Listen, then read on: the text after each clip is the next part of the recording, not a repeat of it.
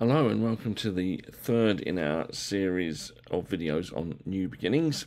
We're still having to do the rather simple recording on a uh, laptop webcam. I'm afraid the monitor on my other computer got collected today and maybe in a week or so I'll be able to do um, a slightly more sophisticated recording with a proper camera. But if you can put up with this for another week, um, that's where we are. So this week we're moving on from last week when Moses was on the edge of the promised land with Israel to when Moses has died and Joshua is about to take that up and the theme of occupying the land. And so, whereas we were in Deuteronomy chapter 1 last week, we're in Joshua chapter 1 for this week's episode and we're reading verses 1 to 9. After the death of Moses, the servant of the Lord, the Lord said to Joshua, son of Nun, Moses' assistant, Moses, my servant, is dead. Now then, you and all these people, get ready to cross the river Jordan into the land I am about to give to them, to the Israelites. I will give you every place where you set your foot, as I promised Moses. Your territory will extend from the desert to Lebanon, and from the great river, the Euphrates, all the Hittite country, to the Mediterranean Sea in the west. No one will be able to stand against you all the days of your life. As I was with Moses, so I will be with you. I will never leave you nor forsake you. Be strong and courageous, because you will lead these people to inherit the land I swore to their ancestors to give them. Be strong and very courageous. Be careful to obey all the law my servant Moses gave you. Do not turn from it to the right or to the left, that you may be successful wherever you go. Keep this book of the law always on your lips. Meditate on it day and night, so that you may be careful to do everything written in it. Then you will be prosperous and successful. Have I not commanded you? Be strong and courageous. Do not be afraid. Do not be discouraged, for the Lord your God will be with you wherever you go. Moses, my servant, is dead. It's not quite what we experience in the Methodist Church when one minister leaves and a new one arrives, or as in the case I'm involved in here, where one minister in the circuit changes responsibilities and I, as the new minister, arrive. But it is that time when we break with the past and set out on a new adventure just as God says to Joshua here, Now then, you and all these people get ready to cross the river Jordan to the land I'm about to give to them, to the Israelites. I know our call is not literally to occupy geographical land, as was Israel's, nor is it military conquest. For Christians, crossing the Jordan and occupying the land is metaphorical. It's about breaking out of our holy huddles and bringing the good news of God's victory in Jesus Christ into the world. But for all the differences, there are still some parallels between the commands God gives Joshua and what he requires of us as we begin moving forward. So, and I'm going to be preaching this at a covenant service, which is really quite appropriate for renewing commitment. And here are three of those commitments. Firstly, be strong and courageous. Be strong and courageous because you will lead these people to inherit the land I swore to their ancestors to give them. Be strong and very courageous. I think Joshua gets the memo. Be strong and courageous. Be strong and very courageous. And it occurs a third time, a couple of verses later. There's no doubt that we need strength and courage to announce the good news of God's victory of, in Jesus Christ to the world. We know that we risk being mocked, ignored, or maybe at best patronized. We know that we live in a society that understands life in a very different way from the historic gospel. On occasions, the difference can be so much that we Christians are assumed to be a threat to the well being of our society and we're treated as enemies. The number of people with a residual sympathy for Christianity is declining fast. When our world is like that, it is no wonder that we can feel nervous about speaking up for Christ. No wonder we get worried. Unlike Israel, we don't have. Excuse me. We don't face military enemies who can take our lives, but we do face people who may be cruel with words and other actions. We too need to hear the injunction to be strong and courageous. We need strength that we will overcome our paralyzing fears so that we act in word and deed for the gospel in the world. We need strength and courage to overcome the excuses we make for keeping silent about Jesus.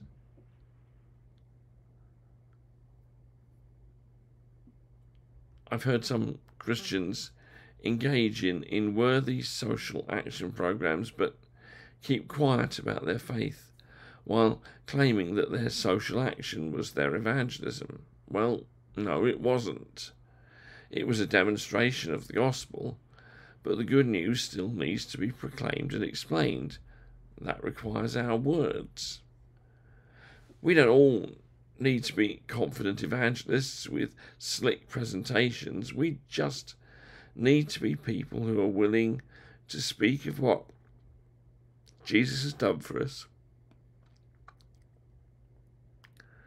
and what he means to us. We are witnesses. We speak of what we have seen and heard. Neither do we all need to be people with clever answers to the questions and objections people raise against our faith. We can say with all honesty, I don't know an answer to what you're saying, but I'll come back to you. In the meantime, we can bring their questions to the Christian community for reflection, and where people who are more specialised in their knowledge can offer some thoughts. We can and should do our own thinking too. Oh, for more Christians to do serious reading about their faith in between Sundays. At heart, we simply need to be people who will speak of the difference Jesus has made in our lives. A friend of mine is an Anglican priest and he's serving in, the, in parishes in the church in Wales.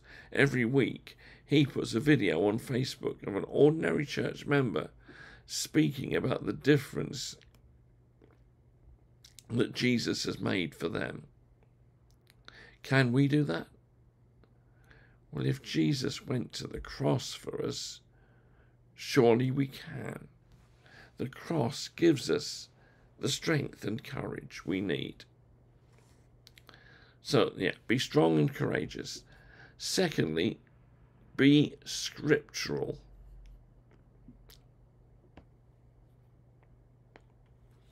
Or if you like, be biblical. So, more words of God to Joshua. Be careful to obey all the law my servant Moses gave you. Do not turn from it to the right or to the left, that you may be successful wherever you go. Keep this book of the law always on your lips. Meditate on it day and night, so that you may be careful to do everything written in it. Then you will be prosperous and successful. Joshua doesn't have the whole Bible at hand, obviously. He just has the law that God has given Moses. But he is to follow the revelation he has been given. We, on the other hand, do have the entire Bible. It's the collection of books which the Church recognized had the particular signs of the Holy Spirit's work, as the apostles, prophets, and others recorded in their own styles what God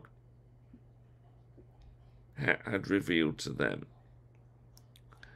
And in handling the Bible, we hold no ordinary book or ordinary library of books. We hold a collection that, in classical Christian terms, is sufficient rule for our faith and practice. Its origins, with the Spirit's guidance of divinely commissioned messengers, makes it the written Word of God.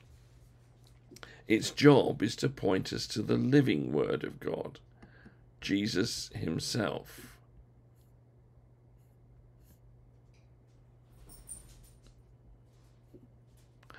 As Christians, we therefore have no liberty to depart from and contradict the teaching of Holy Scripture in all that it affirms about our faith and practice.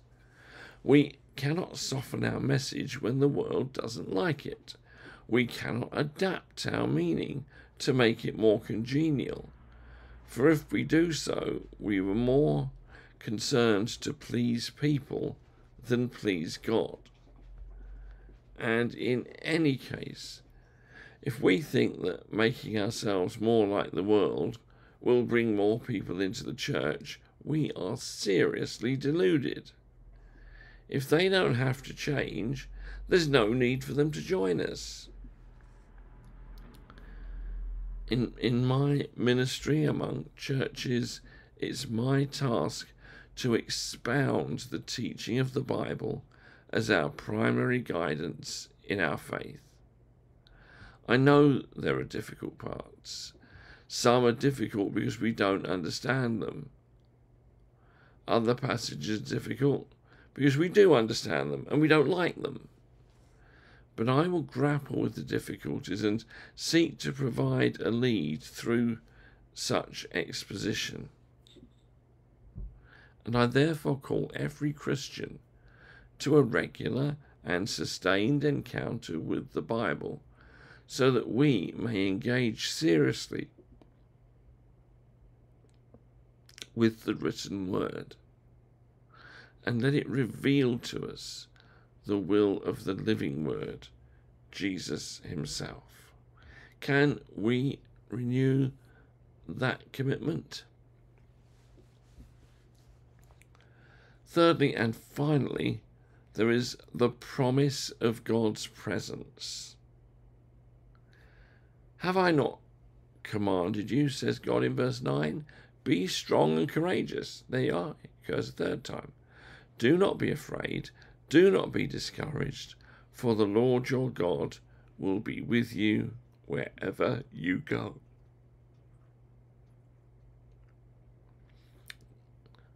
So there it is, a third time. Be strong and courageous. Only this time it isn't simply a command, it's accompanied by a promise. In, in the Lord's desire for us not to lapse into fear or discouragement, he makes Joshua and his people a promise. The Lord your God will be with you wherever you go. There's something similar here to the promise of Jesus to be with us always even to the end of the age in Matthew 28. In both cases, the promise of the divine presence with his people is given in a specific context. And that context is of God's people being sent out into the world as witnesses to him. Israel and her army will witness to the presence of God as they occupy a land where tribes who practice detestable things such as child sacrifice are. Christians will go into the world with the good news of God's victory over death and sin in Jesus Christ. It's not just a general promise for God to be with his people. It's a promise that God will be with his people at the very time they may need strength and courage. It's as if God said, I didn't make up all this going into places where people will be hostile just for a bit of fun as I watch you suffer. Oh no, I will be with you. Christians may not have the sort of visible signs of God's presence that Israel had in the wilderness, such as the pillar of cloud by day and the pillar of fire by night. In any case, that didn't always stop Israel from disobeying. But the sign of God's presence with us is the gift of the Holy Spirit. The work of the Spirit is to bear witness to Jesus, and He will do that in many ways in our lives. He will help us see Jesus in our everyday. He will fill us with the peace of Christ, and not only individually, the peace of Christ will dwell in our midst. The Spirit will be there to help us speak when we are opposed. He will be our advocate when we are under accusation. We may be a long time past Pentecost in the church calendar, but this is as good an occasion as any in the Christian year to cry, Come, Holy Spirit, come with the presence of God, come to make us strong and courageous as we witness to Jesus. Come and enliven the scriptures as we read them here, so that we may know the will of God. Yes, indeed. Come, Holy Spirit.